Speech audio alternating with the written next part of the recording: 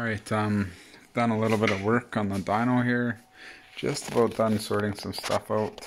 Got a couple switches for the contactors, put proper contactors in. Still using the relay, uh, circuit breaker, sorry, and I have a fuse. It's a lower voltage fuse, but right now I'm only running 104 volts, 105 volts input. Um, got a little bit of tidying up with the wires to do. Um, Got some switches, a little bit of plexiglass here for a bit of protection. I'm going to put some on the sides here right away as well. I've been able to run 200 amps load on the regen side. So basically that controller works regen on this motor on the front here. The back has the other motor that that controller runs. That's the drive motor. So this is the input power to the drive motor. You're going to see the power there displayed. That's the regen power. So you're going to see this to be a lower number than this one. Um, I'm going to try and see if I can do a run with 200 amps load phase amps. And uh, we'll just do a short run. I got a screen capturing um, program that should work here. So we'll start recording. What I like to do is get it up to get it spinning a bit and then uh, add the load once we're going Hopefully this works okay.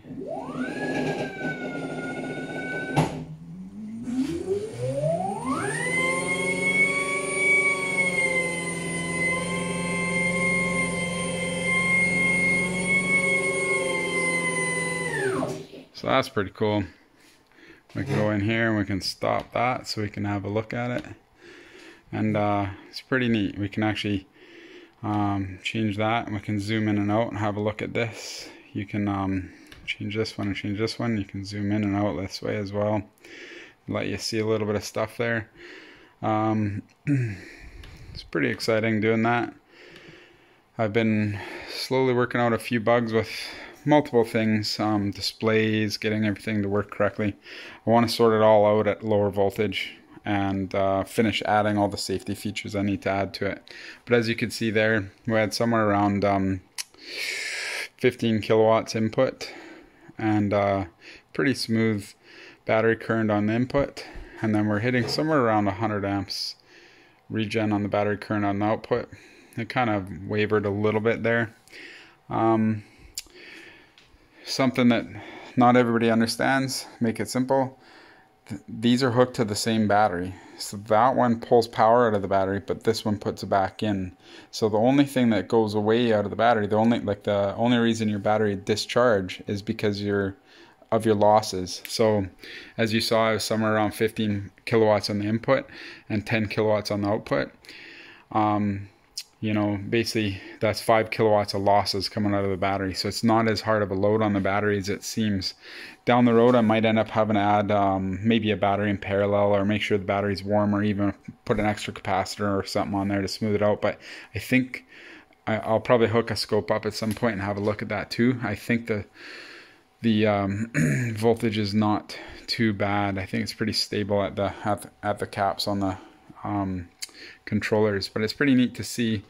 It's up and running. Um, we're definitely, you know, a tenth of the power of what we plan to run with this thing, something like that. So realistically, this thing's going to be pretty awesome when it's done. It's nice to see this this dyno working, and it sounds pretty smooth with a real load on it. Um, one of the next things to do is actually to increase the um, voltage once I got a little bit of this safe and then run the same current again. What I'm going to try and do before that though is try and get all the way up to the full current that I want to run at 100 volts just to make sure everything's safe. Another thing I have to do actually is add the cooling. These are um, liquid cooled heat plates or uh, cold plates you would call them. So essentially the back here has little coolant ports that'll hook up and the motors are liquid cooled as well. So uh, what I'm gonna what I'm hoping to do I got some motorcycle radiators I've hoarded essentially but what I'm hoping to do is find maybe two radiators um, and put them on the back of this thing facing sideways or something or even on another external stand that just you know comes with it or something I'll, I'll design something for that so that it works pretty good but so far I'm pretty happy with this uh, I think we're going to see some pretty big stuff come out of this within the next few weeks here. Shouldn't have ended the video so early.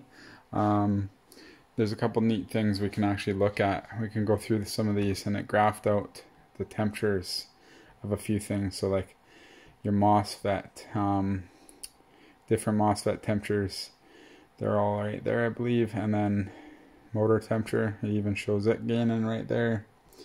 Um, pretty cool, pretty neat to see.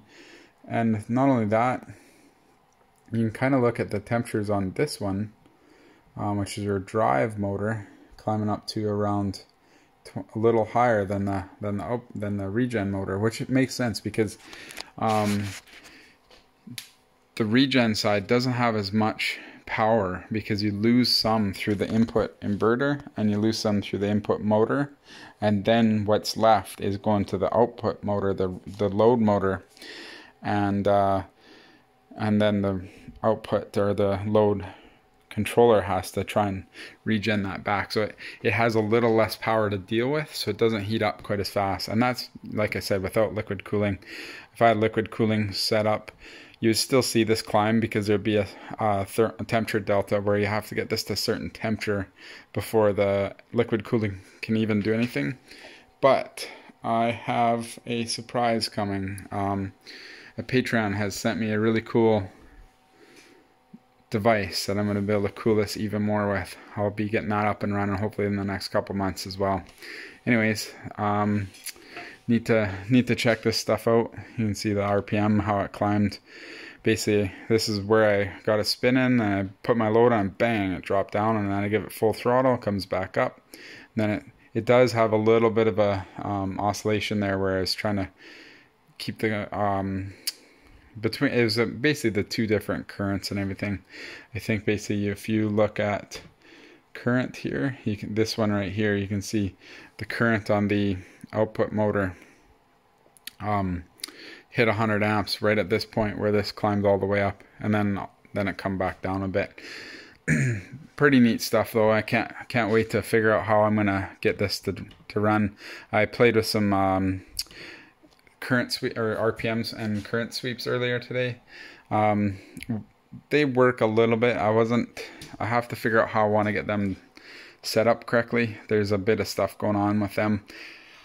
I think ideally an RPM sweep would be um, perfect um, if we can get it set up. But what I found was when it jumps from one step to the next, there's a spike in current every time it jumps up.